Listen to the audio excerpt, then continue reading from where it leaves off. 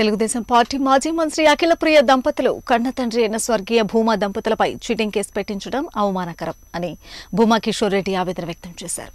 భూమా ప్రియ తన స్వలాభం కొరకు ఎదుగుదల కొరకు ఏకంగా దివంగతులైన తల్లిదండ్రుల పేర్లు చెడగొట్టడం బాధాకరం. నంద్యాల జిల్లా ఆళ్ళగడ్డల భూమా కిషోర్ రెడ్డిలో దివంగతులైన భూమా నాగిరెడ్డి దంపతులపై కేసు పెట్టడాన్ని వ్యతిరేకిస్తూ ఆయన మీడియాతో మాట్లాడారు. రెండు వేల పదకొండులో భూమా నాగిరెడ్డి ఆస్తులు అమ్ముకునే స్థితిలో ఉన్నారని అవాస్తవాలు ప్రచారం చేయడం చాలా బాధాకరమన్నారు.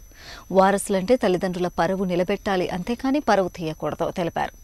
అఖిలప్రియ చేసే వ్యవహారాల వల్ల భూమా కార్యకర్తలు అభిమానులు తలదించుకోవాల్సిన పరిస్థితి నెలకొంది.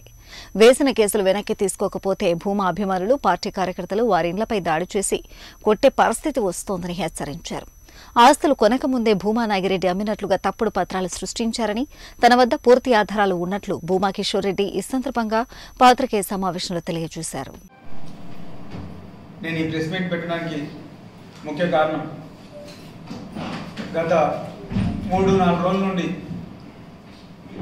టీవీలో వచ్చే న్యూస్. భూమానాగిరెడ్డి శోభానాగిరెడ్డి గారి పేరు మీద చీటింగ్ కేసు నమోదైందని. కుటుంబ సభ్యులే దీనికి కారణమని వచ్చి రావడం వల్ల ఈరోజు ఈ ప్రెస్ మీట్ పెట్టడం జరుగుతుంది. న్యూస్ చూస్తేనే నాకు చాలా బాధ అనిపించింది. ఇలాంటి పరిస్థితి మా కుటుంబానికి వస్తుందని ఏ రోజు నేను అనుకోలేదు. మా పిన్ని బాబాయ్ ఎంతో కష్టపడితే కానీ మా కుటుంబ బరువు ఈ స్థాయికి రాలేదు. ఆ రోజు మా నాన్న పెదనాన్న వాళ్ళు అబ్బా అందరు చనిపోయిన తర్వాత మా బాబాయ్ పిన్ని చాలా కష్టపడి మా కుటుంబాన్ని ఈ- ఈ స్థాయికి తీసుకొచ్చాడు. ఒక విధంగా ఉమ్మడి కుటుంబాన్ని ఈరోజు ఈ స్థాయికి తీసుకురావడానికి చాలా కష్టాలు పడ్డారు. ఆర్థికంగా కానీ ఫ్రాక్షనిజంలో కానీ ప్రతి ఒక్క దాంట్లో ఆయన చాలా ఇబ్బందులు పడ్డారు. అలాంటిది ఈరోజు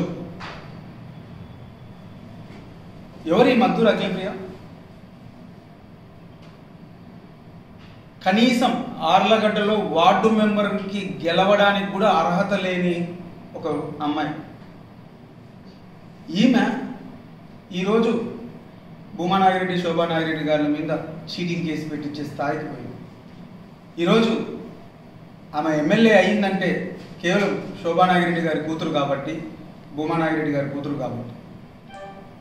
పిన్ని చనిపోతే